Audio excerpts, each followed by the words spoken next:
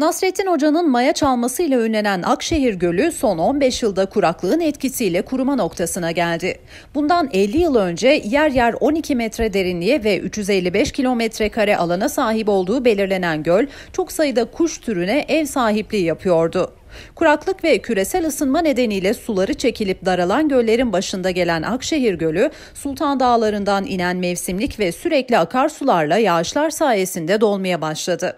Çiftçilerse zaman zaman kuruyan gölün bu yıl canlandığını belirtti. 2020 yılında e, yağan yağışlar özellikle yağmurla birlikte gelen e, sel suları, çay suları, dere suları gölümüzde 40-45 santimlik e, bir yükselmeye sebep oldu.